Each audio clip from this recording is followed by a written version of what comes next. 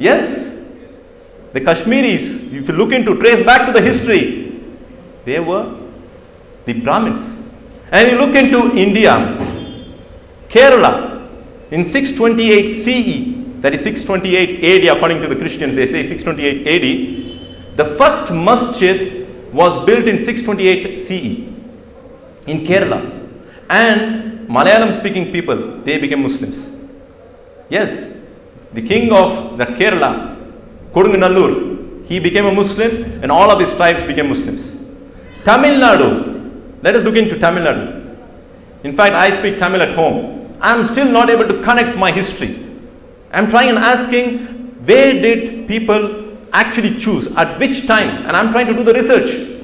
And I came to know there's something beautiful. Just 200, 250 years ago, there was this man called man called Muhammad Yusuf Khan. I don't think many of them have heard of this. Muhammad Yusuf Khan. His history is unknown. He was a man from the family of Pillayar. Pillaiwal they say.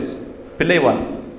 He chose Islam. Why? To fight against all sort of injustice, social injustice.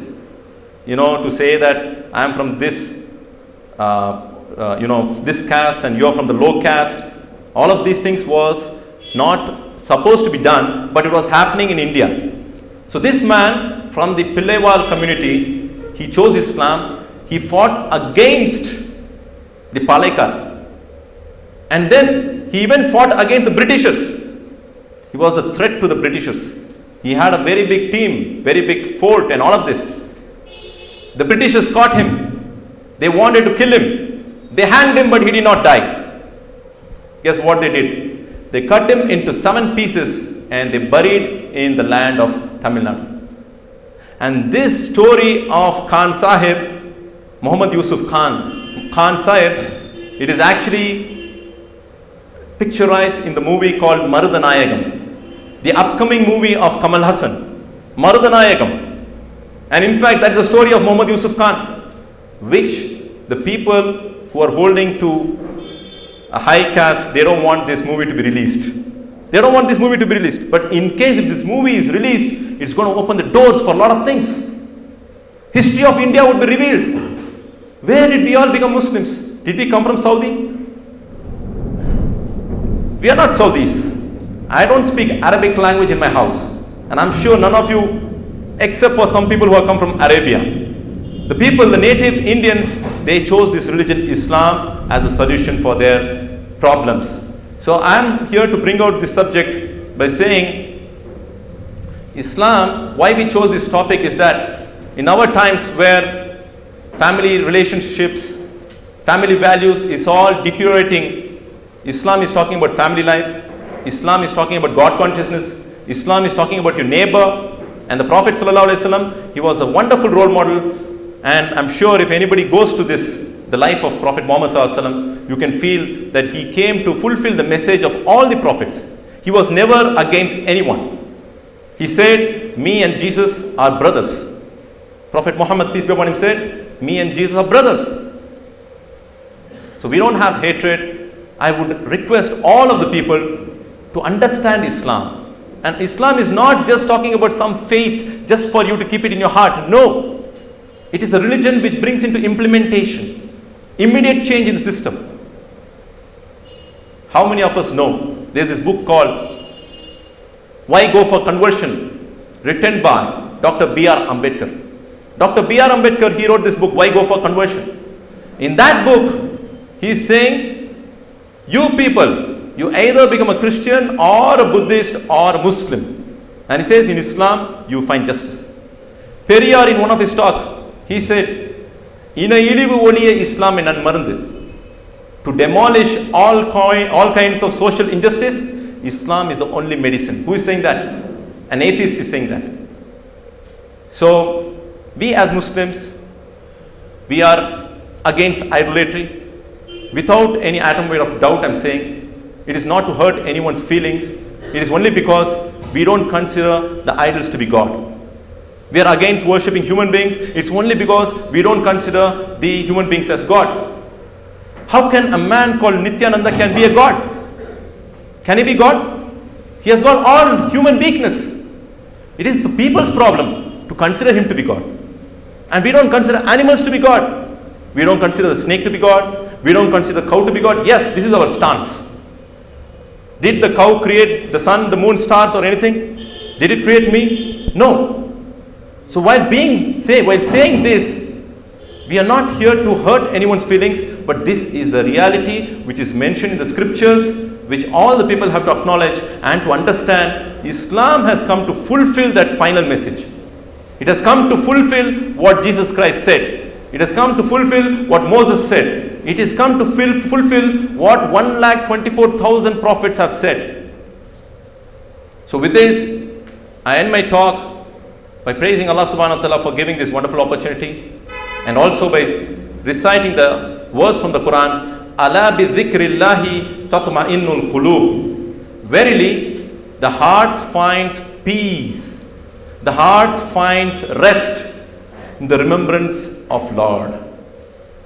I will keep the open and question answers to be very welcoming. Anyone has got any question, I will not feel offended. I will just quote from the Quran and from the Hadith the things that we have learned. Wa dawana alhamdulillahi rabbil alamin. Brother uh, has said we must not call Islam as a religion, but rather we must call as a lifeline.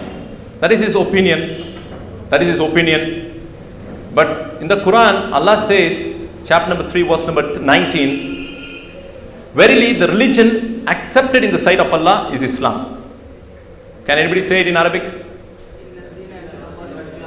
Inna dina indallahi Islam.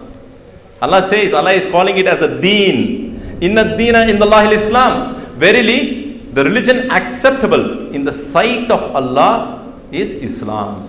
So Allah is saying this. So now we must not tamper the word. We must not give a new meaning. And because of people giving a new meaning, we have found so many sects and factions amongst the Muslims. It's when a person starts with something new, that becomes a religion in itself. So as a Muslim, we can limit our understanding to what Quran is saying. So the Quran is saying in chapter number 3, verse number 19, that in dina in the Allah in Islam. Verily, the religion accepted in the sight of Allah is Islam. And one more place Allah says in chapter number 3, verse number 85, وَمَنْ يَبْتَغِ غَيْرَ الْإِسْلَامِ دِينًا فَلَنْ يُقْبَلَ مِنْهُ وَهُوَ فِي الْآخِرَةِ مِنَ الْخَاسِرِينَ Whosoever seeks a religion other than Islam as a religion, it will never be accepted from him. And in the hereafter, he will be amongst the losers. Who is saying this? Who is saying this? This is Allah's word. So, what we have to understand and what Quran is saying, what Allah is saying, Allah is saying this is a religion.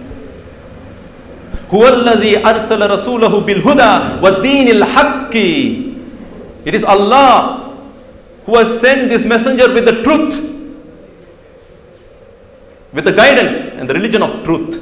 Allah is saying religion of truth. So we must try to understand the religion, our religion Islam, based on the Quran and based on the teachings of Prophet Muhammad Sallallahu Alaihi Wasallam. Today if you see from Kashmir to Kanyakumari, there are so many varieties of Muslims, so many factions, so many sects, so many groups, each one rejoicing with what they have got, as Allah is saying. Each one is rejoicing with what they have got. Why are they rejoicing? They feel that they are right.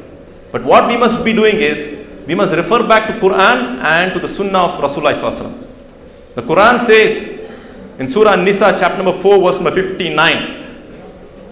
It says, amanu atiullaha wa atiur rasul wa ulil amri minkum. O you who believe, obey Allah and obey the messenger and those who are in authority over you.